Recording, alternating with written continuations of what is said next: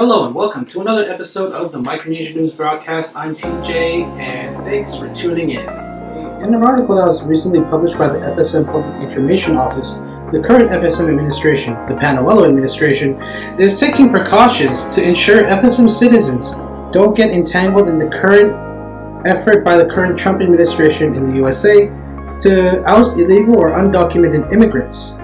According to a report from the Department of Homeland Security, entitled Fiscal Year 2018 Entry Exit Oversight Report Overstay Report, the FSM is listed as one of the nations of having overstays in the United States. The FSM Embassy in Washington, D.C. is actually working with the Department of State to ensure that FSM citizens aren't adversely affected.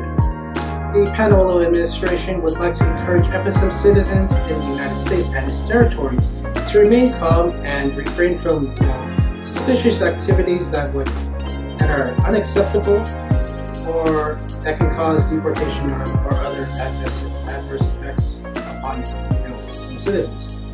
And they would, they would also let you, like to let you know that if you have any information, you can contact the FSM Embassy in Washington, D.C. or the FSM consulates in Guam, Hawaii, or Portland, Oregon. Here is our take. Roll the clip.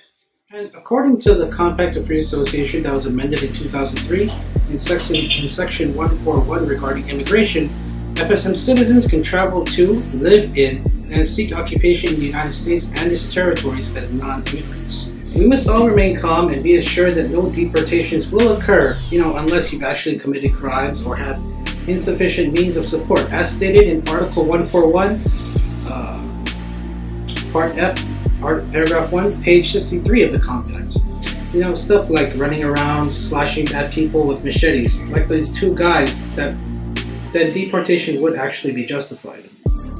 We must also remember that the Compact of Free Association is also a part of U.S. law, a special relationship that is shared between the United States of America and the freely associated states.